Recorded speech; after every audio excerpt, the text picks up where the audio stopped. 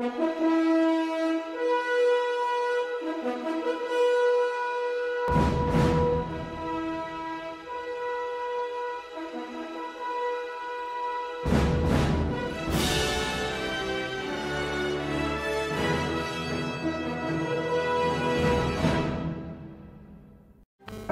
sa création, l'homme a eu plusieurs appétits, dont certains sont des besoins indispensables comme se nourrir. Commençons par se nourrir sur les plantes, plus tard, vivant dans un monde féroce, il commence à chasser en moins 30 000 avant Jésus-Christ, et grâce à la découverte du feu en moins 600 000 avant Jésus-Christ, il arrive à cuire ses proies. Avec la naissance de différentes cultures, la nourriture devient un signe de luxe. En évoluant, l'homme commence à mélanger les goûts comme les salades de fruits. Aussi à développer de nouvelles techniques de cuisson. Ainsi, se nourrir dépasse le fait d'être un simple besoin et devient un vrai plaisir. Ce plaisir a poussé les scientifiques à rechercher et avancer scientifiquement et techniquement dans ce domaine. Et cela donne la naissance de notions gastronomie. Cette science continue à évoluer jusqu'à arriver en 1988 au terme gastronomie moléculaire. Ce terme a été introduit par le physicien d'Oxford Nicolas Curti, l'un des pères de cette science, et Hervé physico-chimiste français. Ce TPE est présenté par Farah, Fatma et Carla.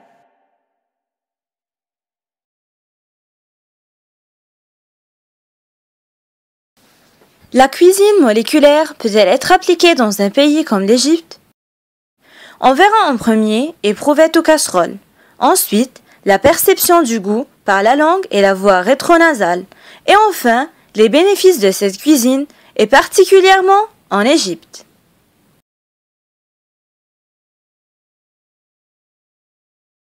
La sphérification est une technique nouvelle mise au point par Ferran Adria chef du restaurant El Bulli à Barcelone. Elle consiste à mettre la préparation liquide sous forme de sphère par une gélification contrôlée de la partie extérieure d'un liquide. Il existe trois types de sphérification. La basique, l'inverse et par la gare Pour réaliser une sphérification basique et obtenir une sphère gélifiée, on utilise du sodium, on va utiliser l'alginate de sodium comme additif, qui se gélifie en présence de calcium le lactate de calcium comme additif. Il faut mélanger l'alginate de sodium à la, solution que l'on désire sphérifier, par exemple le jus. Il faut préparer dans un récipient à part un bain de calcium, par exemple de l'eau plus la lactate de calcium. À l'aide d'une pipette, on prélève le liquide à sphérifier.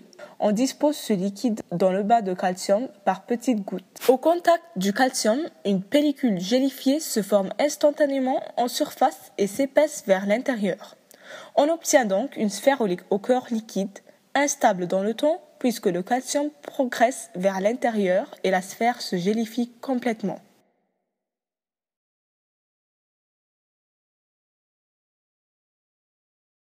Dans la sphérification inverse, on dissout le calcium dans la préparation que l'on veut sphérifier, si le produit ne contient pas naturellement du calcium.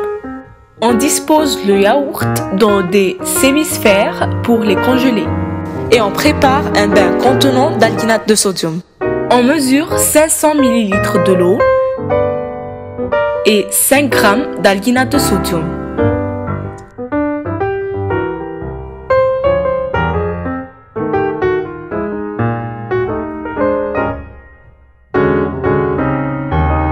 Après environ 12 heures, on met les sémisphères de yaourt dans le bain d'alginate.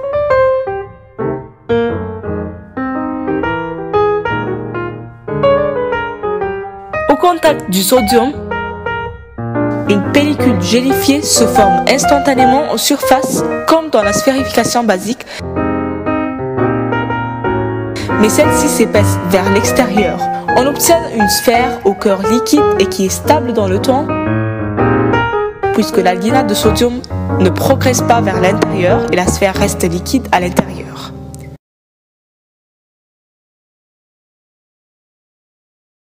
La sphérification par la gare à gare est très proche de la gélification. Il faut porter à ébullition le liquide à sphérifier avec de l'agar-agar. Après ceci, on peut sphérifier notre liquide dans de l'huile d'olive très froide en versant des gouttes du liquide sphérifié à l'aide d'une seringue. L'explication au niveau chimique. L'alginate de sodium de formule se présente dans le commerce sous forme de poudre blanche. De plus, si on regarde la molécule d'alginate de sodium, on se rend compte que les alginates sont des longs brins qui peuvent s'associer avec le calcium. C'est une longue chaîne composée de groupements carboxyle et de l'ion sodium, ce qui rend cette molécule électriquement neutre. Lors de la sphérification, l'alginate rencontre le chlorure de calcium. Les ions calcium contenus dans le bain de calcium se déplacent vers les ions sodium et prennent leur place. Les ions calcium chargés positivement sont attirés par les groupements carboxyles, ce qui leur permet de réagir, de lier deux chaînes d'alginate entre elles. C'est donc le phénomène de polymérisation puisque les deux chaînes d'alginate fusionnent. Ce phénomène permet la formation des gels. Au niveau physique, on se demande pourquoi des sphères. Les forces de tension superficielle qui s'appliquent sur une goutte d'eau obligent celle-ci à minimiser au maximum l'air de l'interface entre l'air et l'eau. C'est pourquoi les gouttes d'eau sont sphériques. Lors de nos expériences, lorsque l'on verse les gouttes d'alginate de sodium dans le bain de calcium, plusieurs forces s'appliquent sur la goutte. Le poids qui l'attire vers le bas, les frottements de l'air, la tension superficielle. La sphérification met donc à profit aussi des phénomènes physiques que chimiques, tout en les appliquant en cuisine. Qu'est-ce que c'est que la gélification? La gélification est un procédé culinaire qui consiste à obtenir la matière sous une forme entre l'état solide et l'état liquide, qu'on appelle le gel. Sa consistance est visqueuse et transparente. On retrouve différents moyens de gélification qui dépendent tout d'abord du support qui est la nature du gélifiant. Gélification par caragénane.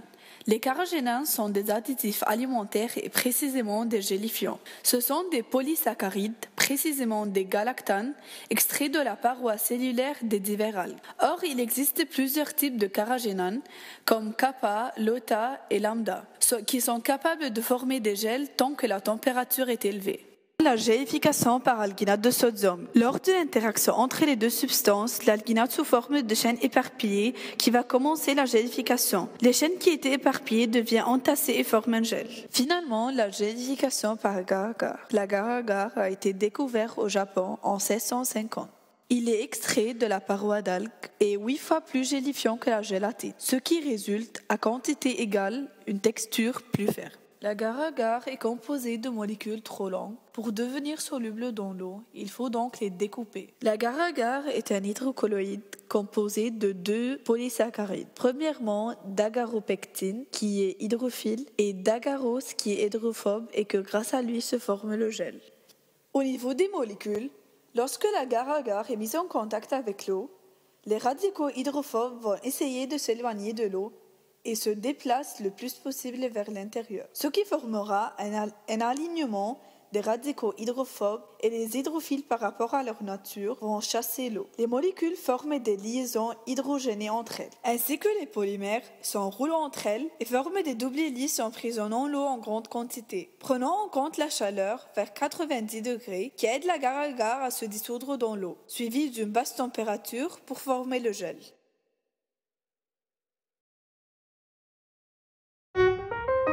Sur une balance électrique, on mesure 150 ml d'eau avec 250 ml de jus de fraise.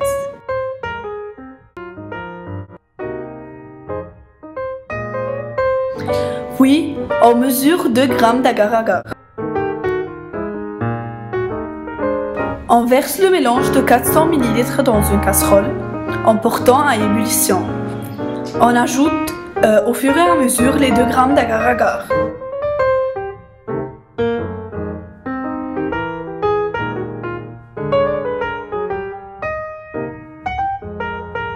On a essayé de faire le spaghetti en utilisant seulement la seringue, mais l'expérience a échoué. Donc, on a fait circuler le mélange dans le tuyau à l'aide de la seringue, laissant ensuite le tuyau se reposer pendant 3 minutes dans un récipient contenant de l'eau et du glaçon. À l'aide de la seringue, rempli d'air, on a fait ressortir la préparation dans une assiette. la couche de l'huile et il y a la couche d'eau. Une émulsion est un mélange homogène de deux substances liquides non miscibles, comme l'huile et l'eau. Le mélange reste stable à l'aide d'un troisième ingrédient appelé émulsifiant. Le matériel utilisé de l'eau, de l'huile, du jaune d'œuf, un récipient, une fourchette. L'huile est composée de lipides, des molécules possédant un côté hydrophile qui aime l'eau et un côté hydrophobe qui s'éloigne de l'eau. Alors les têtes hydrophiles de l'huile restent dans l'eau, tandis que les queues qui sont hydrophobes restent dans l'huile. Les molécules d'eau sont liées entre elles par des liaisons hydrogénées. Un atome d'oxygène se lie à un atome d'hydrogène d'une autre molécule. La molécule d'huile est triglycéride, forme de trident. L'eau est une molécule polaire, avec deux pôles, un chargé positivement et un chargé négativement, tandis que l'huile est une molécule apolaire. Elle ne peut pas donc se stabiliser avec les molécules d'eau, car elle ne peut pas créer de liaison hydrogénée. Pour stabiliser le mélange, on doit alors ajouter un émulsifiant. Un émulsifiant est un composé de molécules tensioactives qui ont un côté lipophile apolaire et un côté hydrophile polaire. Comment l'émulsifiant agit Les molécules tensioactives entourent les gouttelettes d'huile, appelées micelles. La partie lipophile en contact avec les micelles et la partie hydrophile en contact de l'eau. Il existe deux sortes de micelles. Micelle directe, quand on a un solvant polaire, ici l'eau, et donc les molécules forment l'eau de nombreuses molécules de cette forme. Et micelle inverse, quand le solvant est organique. La micelle est donc de cette forme.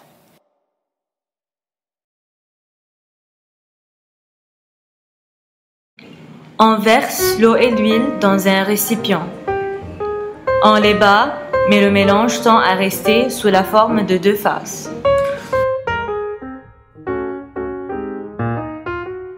On utilise dans notre expérience le jaune d'œuf qui contient du lécithine qui a le rôle d'émulsifiant.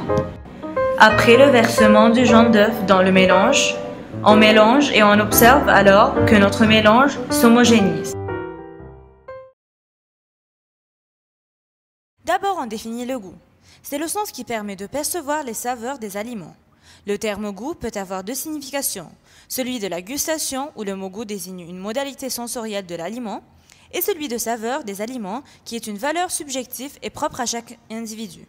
Pour déguster les aliments, il faut les reconnaître par tous les sens. D'abord, la vue, l'aspect de l'aliment est très important, puisque c'est la vue qui nous renseigne sur notre acceptation ou notre refus de l'aliment. Ensuite, l'olfaction est très importante aussi, puisqu'elle nous renseigne sur l'odeur de l'aliment et de plus, l'odorat est un sens qui détermine nos choix alimentaires.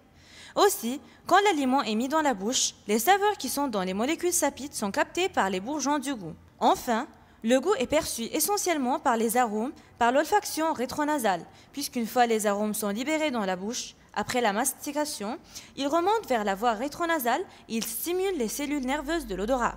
Commençons par l'explication de la structure de la langue. La langue est constituée de papilles gustatives qui peuvent reconnaître différentes saveurs et donc envoyer les informations de ces saveurs au système nerveux. Les papilles ont une durée de vie de 10 jours et se régénèrent régulièrement. Il existe quatre types de papilles.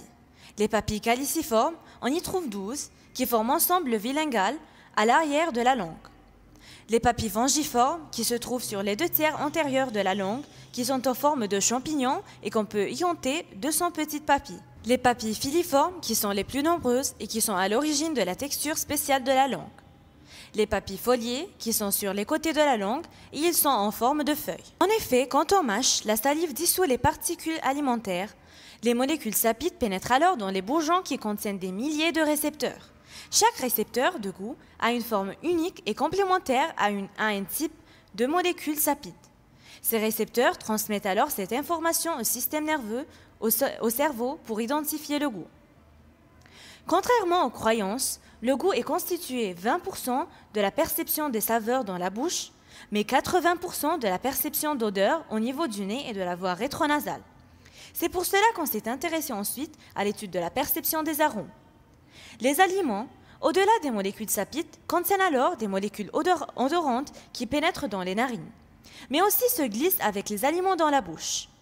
Ensuite, elles pénètrent dans la voie rétronasale et se fixent alors sur les récepteurs qui sont, qui sont fixés à l'arrivée du nez. Ces récepteurs envoient donc les informations détectées au cerveau qui les reconnaît sous le nom d'arômes.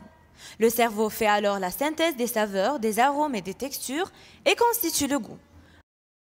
En effet, dans la cuisine moléculaire, on change l'aspect du plat. Il devient plus appétissant. Mais on ne change pas les odeurs de l'aliment. L'aliment garde alors ses molécules odorantes. Par contre, la cuisine moléculaire a joué sur les textures des aliments. Pour vérifier notre hypothèse, on a dû expérimenter. On s'est intéressé alors à un plat égyptien traditionnel dont on fait avec des techniques culinaires moléculaires. La molocheia sphérifiée.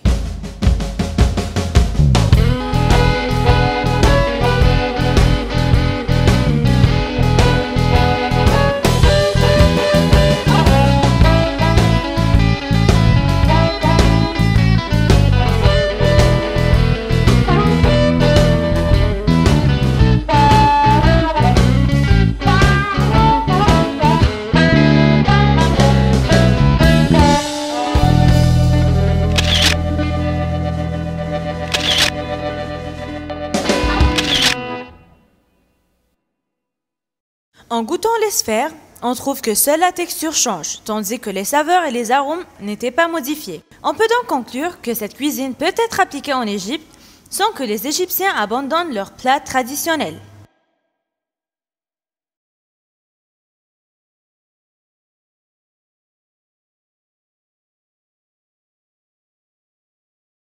L'homme a continuellement le besoin d'énergie qu'on obtient par les aliments. Mais les besoins nutritionnels varient selon différents critères, comme l'âge, le poids, le sexe et les activités physiques.